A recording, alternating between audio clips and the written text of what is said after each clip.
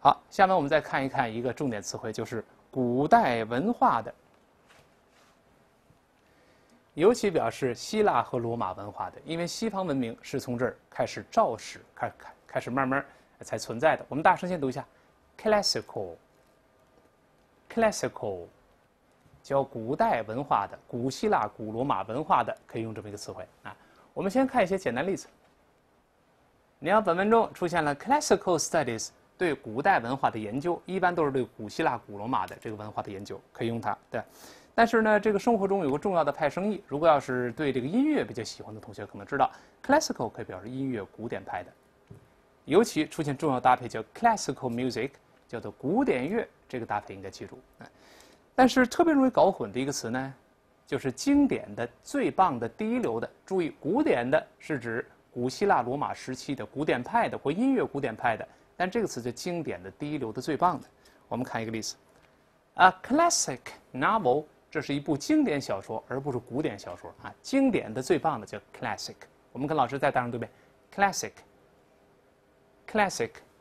当然，小说英国人都是 novel，在美音多数都呃，这个大多数人都是 novel，两个发音都对，都考。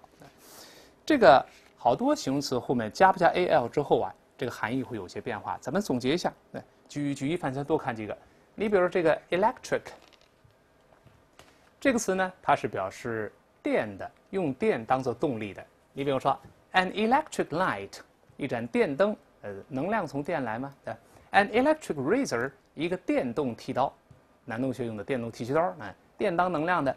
但是它加 l 之后呢，这个词就翻成电的，跟电相关的，电的就好了。我们读一下 electrical，electrical，哎，加 l 了。比如说。Electrical failure，电上的失败，其实就是我们翻译成停电就好了，就电未能传到我们家里来，叫停电现象。同样的，historic 这个词一般强调有历史意义的，在历史上比较重要的。我们先大声读一遍：historic，historic。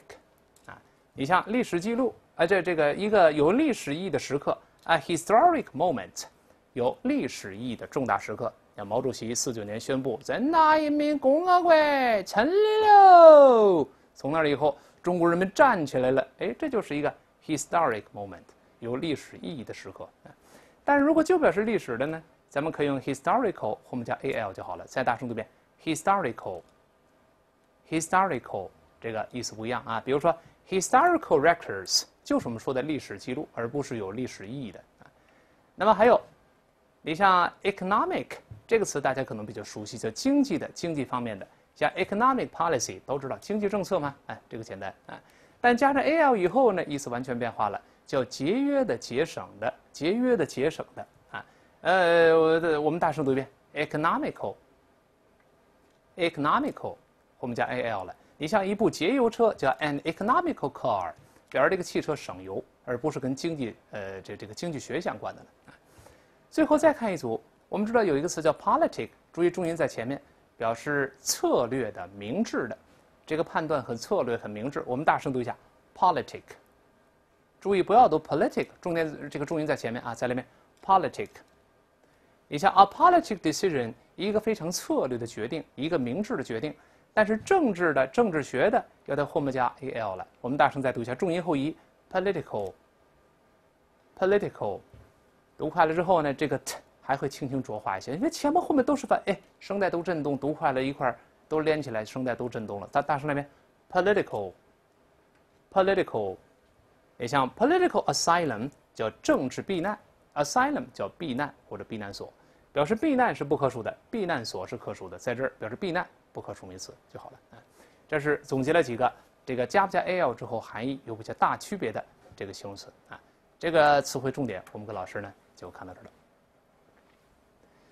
下面一个比较重要的词汇就是这个倚放或者是放置。其实我们看就是休息那个词，你把身子倚在这个地方，不等于休息一会儿吗？用同一个词，这是可以理解的。我们大声读一下：rest，rest。好，这个词呢，及物不及物都可以。我们分别来看一些例子啊，比如说看这句话：Her elbows rested on the table。这个 rest 在这儿当然是不及物动词用法，她的胳膊肘搭在了桌子上。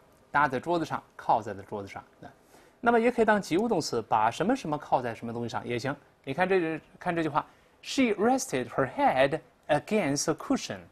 她把头靠在一个垫子上，这 cushion 表示呢海绵垫，软的有弹性的垫子。她把她的头加宾语了，靠在一个这个海绵垫上，这个都可以啊。这是表示呃搭在什么东西上，靠在什么东呃这个东西上面，可以有这个意思。但是这个词啊。我们在写作中和阅读真题中呢，经常看到一个重要的派生的一个固定搭配，就是 rest on 或者 rest upon，字面意思好像搭在什么东西之上，但有个重要的一个做习语的含义，就是基于以什么什么为基础，就是基于有建立在什么什么的基础之上，这个意思。我们看一个简单例子，比如说看这句话，Columbus' decision to sail west rests on his belief that The world is round. Columbus 就 Christopher Columbus，克里斯托弗·哥伦布啊，这个发现北美大陆那个家伙。哥伦布的这个决定，哪个决定呢？向西航行的决定，基于呢，他有这么一个呃信仰，他相信地球是圆的，啊，就是你们往东能到亚洲去，我往西绕地球一圈照样到亚洲。没想到碰见新大陆了。这个 r e s o n 是基于建立在什么什么的基础之上的，可以用它。但是注意，在这儿得用主动啊，用主动结构。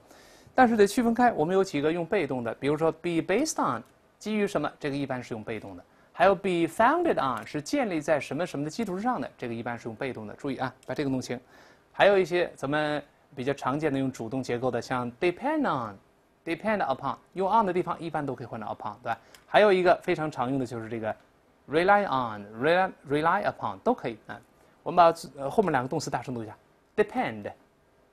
Rely，哎，这两个用主动，后面加 on 加 upon 都可以。呃，咱们看一些简单例子吧。比如咱看看当年的一道高考真题，一道高考真题。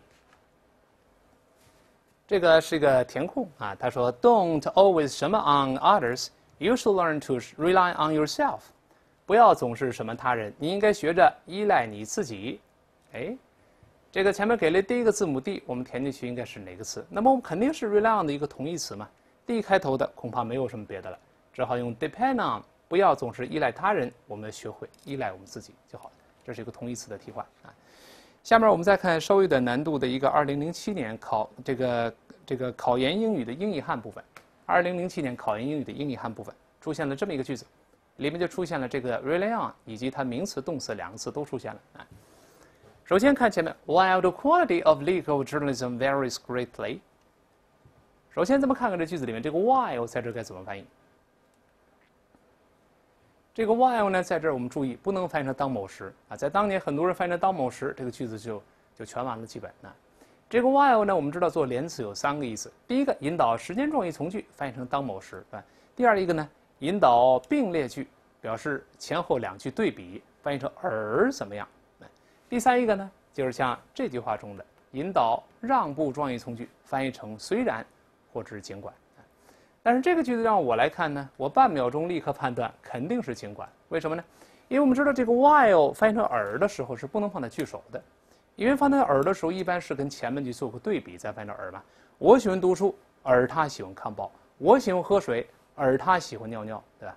我们说跟前面对比嘛，对比一下，这个时候肯定得放在句中。你上来说而，你跟谁而去嘛？不可能了，对吧。放在句首能不能翻译成当某时呢？哎，那倒有可能。但翻成当某时时态恐怕就有问题了，因为当某时这个事儿一般不会天天发生，所以当某时的话一般都用在一般过去或过去进行。当我昨天碰见他的时候，当我昨天正在写作业的时候，而放在句首后面是现在时，无论是一般现在还是现在完成，那一般情况下不出意外的话就是让步尽管。记住啊，放在句首后面是现在时，一般都是尽管。尽管有关法律方面新闻报道的这个质量是区别很大的，vary 是不同嘛，不同的呃地方很多就区别很大。这个 journalism 表示新闻学或者新闻报道都可以。但怎么样呢？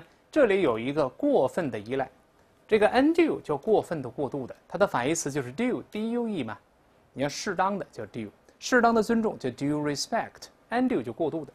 有一个过度的依赖什么呢？在很多记者之间存在，依赖的是什么？找后面介词 on 或者 upon，我们找到了，这是介词 on，依赖的是 interpretations，就是解释。当然这个词也可以表示口译了，但本文中没有外国人，肯定是解释。你看口译也是一个解释。他讲德语我听不懂，你给我翻译一下，不是解释吗？你看弗洛伊德写的著作《Interpretation of Dreams》，叫梦的解析，就用它。那么是什么解释呢？Supply to them by lawyers，被律师提供给他们的解释。我们看到这儿呢，是过去分词短语当后置定语修饰这个 interpretation interpretations。